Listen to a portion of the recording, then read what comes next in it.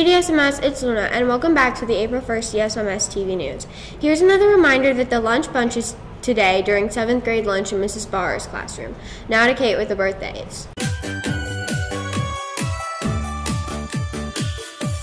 Hey, it's Kate with today's and this weekend's birthdays. Happy birthday to Gabriel Waldrop, Lane Moosey Canto, Grace Castro, Nicole Langbaum, Ryland Johnson, Jason Holland, Carly Wire, and our very own Mrs. Norbell. Sorry if I mispronounced any of your names. Now to Maya with the lunch.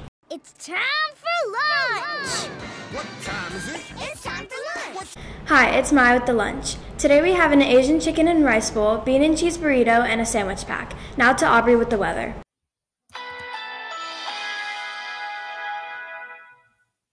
It's Ari with the weather. Today we have a high of 95 and a low of 67 with a 10% humidity and 13 mile per hour winds.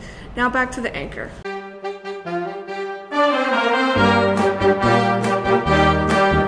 Hey again, tomorrow there is no school. That's all for today's news, and have a good weekend.